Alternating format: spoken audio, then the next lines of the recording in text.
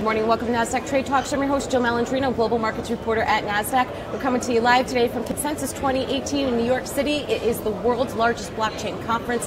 Helping me kick off coverage is Gabriel Giancola. He's the co-founder and CEO of qiibee. Thank you very much for joining us in NASDAQ Trade Talks today. Tell us about qiibee. Thank you very much for having us. You got it. So uh, what we're actually doing is uh, we're doing loyalty on the blockchain, meaning we want to help brands to set up their own loyalty programs on the blockchain uh, through a plug-and-play solution. By that, giving their customers really the freedom they deserve uh, by giving them the loyalty. What do you think the future of loyalty programs is with blockchain?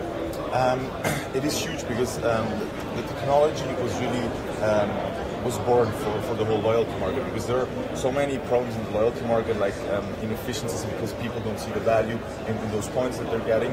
And um, what we think is that we should build one big ecosystem on the blockchain.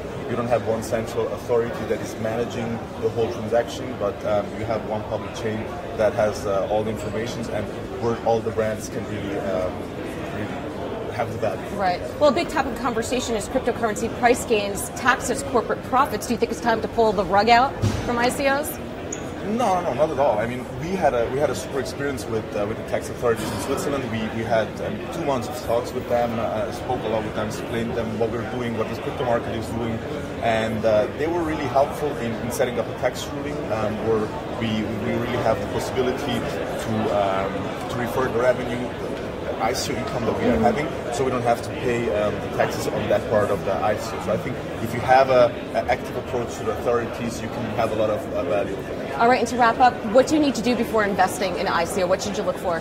So for me, the most important thing is you have to have a good team that is passionate about the product they're building, and uh, they have to, to, to see wider than the ICO itself. It's not the last milestone, but that's the first milestone that you have to achieve before you have your journey.